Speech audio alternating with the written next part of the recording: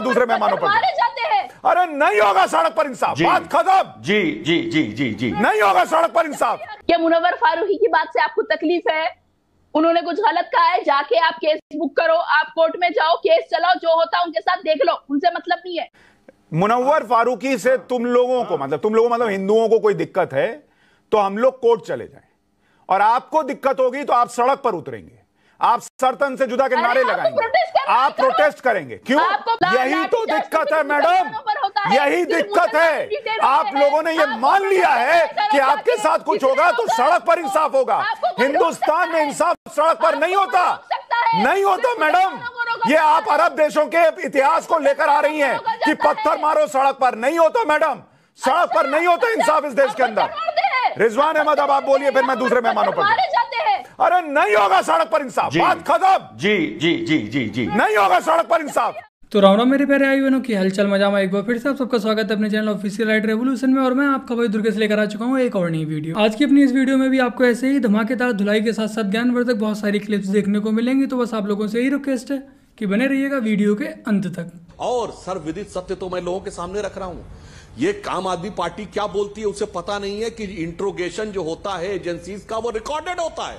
मैं चुनौती से कहता हूँ, कहे मनीष सिसोदिया कि निकाल के लाइए रिकॉर्डिंग और कहिए, मैं साबित करता हूँ कि मेरे ऊपर आरोप लगाया गया ये फर्जी। फर्जी बोलने का स्टाइल ये है कि वही मनीष सिसोदिया जी हैं अंजना जी जिन्होंने अप्रैल 2021 में जब इसी प्रकार से सिंगापुर का प्रकरण आया था तो इन्होंने आके बाकायदा प्रेस कॉन्फ्रेंस में बोला था कि हमारी सरकार को बच्चों से प्यार नहीं है क्योंकि हमने बच्चों की वैक्सीन विदेश भेज दी जबकि सत्य था कि अप्रैल 2021 में सेकेंड वेव के दौरान देश में ये पैनिक क्रिएट कर रहे थे पूरी दुनिया में बच्चों का कोई वैक्सीन नहीं बना था। भारत तो छोड़िए जो लोग ऐसा सर्वविदित सत्य बोल चुके हैं और अंत में एक बात कहता हूँ। कहाँ गए वो लोग जो कहते थे कि आरोप लगते इस्तीफा देना चाहिए। और आज स्थिति यह है कि जेल में रह के, जब लालू यादव जी जेल गए थे तो उनसे पूछा था, अब आप कैसे राज करेंगे? तो कहे थे, जलवे से राज करेंगे। तो पत्रकारों ने पूछा मतलब क्या कहें? मतलब मतलब जलवे जलवे से रहेंगे? पर लोगों ने कहा था, नहीं, भोजपुरी में समझिए, जलवे से राज करेंगे, जेल से। और देखिए, भ्रष्टाचार का क्या प्रतीक है, चार महीने से जलवे से राज कर रहे हैं एक मंत्री जी। ऐसा अद्भुत उदाहरण प्रस्तुत करने वाले लोगों का सर्वविदित सत्य पूरी जनता के सामने। भाई जब से आम आदमी पार्टी आई तब से इसे देखकर तो यही लगता है कि इससे लाख गुना अच्छी तो कांग्रेस ही थी। ये तो हमारे देश के लिए और भी ज़्यादा हानिकारक है ये सत्ता पाने के लिए कुछ भी कर सकते हैं। हिंदू मुस्लिम में दंगे भी करा सकते हैं जैसे की दिल्ली में करवाए भी थे। हमें कोई फ़र्क नहीं पड़ रहा लेकिन मुझे बताइए मुझे नहीं पड़ रहा है, राहुल मुझे गांधी को बताइए फ़र्क पड़ रहा है। समी जी मुसलमानों की आवाज़ माफ़ करना सुधांशु जी जिन्ना कभी नहीं हो सकते। मुसलमानों की आवाज़ बीर अब्दुल हमीद की छाती से टपका वो लहू है जो भारत माता की जय बोलता है। पाकिस्तान के मुसलमानों की आवाज़ बात कर रहे हैं आप लोग तो। ये सब हिंदुस्तान के मुसलमानों मैं इनकी बात का जवाब दे देता हूँ। आपने कहा कि मुसलमानों की आवाज़ जिन्ना नहीं थे तो उसी जिन्ना के साथ 1916 लखनऊ कांग्रेस अधिवेशन मुसलमानों के लिए पृथक निर्वाचन क्षेत्र होंगे। ये किसने स्वीकार किया? ऑल इंडिया कांग्रेस कमेटी के अधिवेशन में, जिसकी अध्यक्षता अंबिका चरण मजूमदार कर रहे थे। और उसके बाद जब क्रिस मिशन आया 1942 में तो कांग्रेस ने ये बात कही कि ये गलत है अंग्रेज़ों की नीति कि वो मुस्लिम लीग से मुसलमानों के लिए बात करेंगे और हिंदुओं के लिए कांग्रेस से बात करेंगे। एक ही बात होगी, मुसलमानों और हिंदुओं की कांग्रेस से। मगर छियालीस में खुद ही बात करने लगे जिन्ना से। और वीर अब्दुल हमीद की शहादत की पचासवीं वर्षगांठ 2015 में हुई। कौन गया? सिर्फ़ भाजपा ही। गए सेकुलरिज्म का सूरमा। यही तो अंतर है साहब। कहते कुछ और है करते कुछ और है। रह रहे के बदलते हैं दिन रात नए चोले। अंदर से बड़े जालिम बाहर से बड़े सुधांशु जी के सामने कांग्रेस का प्रवक्ता हो या कांग्रेस का पप्पू ही क्यों ना हो चाहे कांग्रेस के आचार्य ही क्यों ना हो कोई भी नहीं टिकने वाले। सावरकर सावरकर भारत का अंग है। सावरकर को तो भारत रत्न मिलना चाहिए। सावरकर ने जिन्ना के साथ सरकार क्यों बनाई इसका जवाब इन्होंने कहा लानत ये मोहम्मद अली जिन्ना 1946 की कॉन्स्टिट्यूंट असेंबली में कहाँ से चुन के गया था?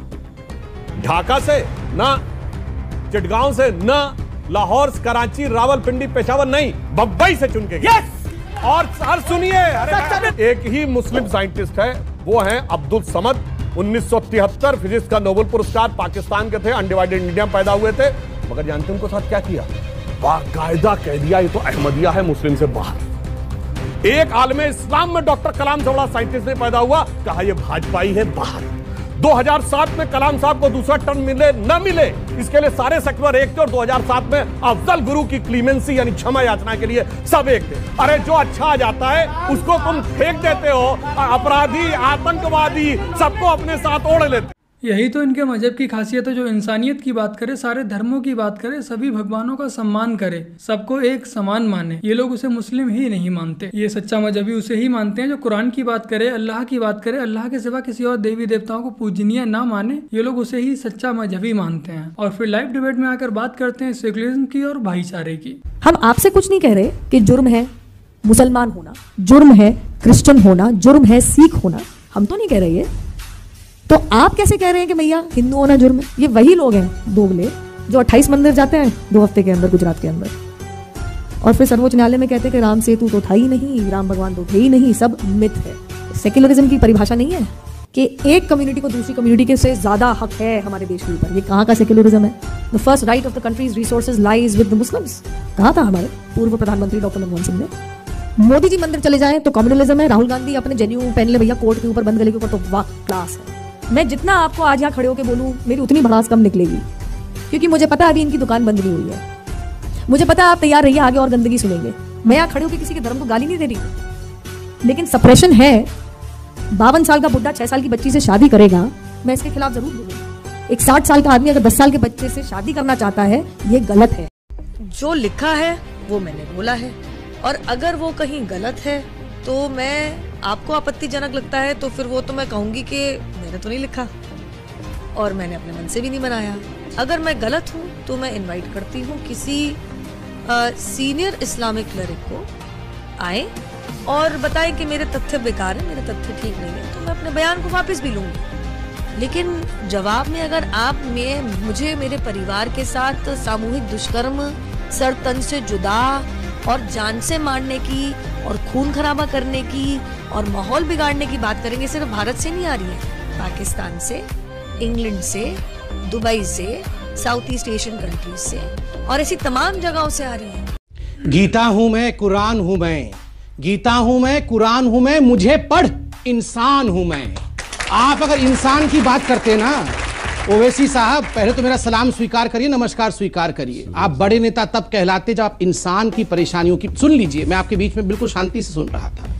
आप बड़े नेता तब कहलाते जब आप इंसान की परेशानियों और दिक्कतों की बात करते। आप छोटे नेता उस दिन हो गए जिस दिन आपने केवल मुसलमानों की बात की। मेरे निगाह में आज आप गिर गए।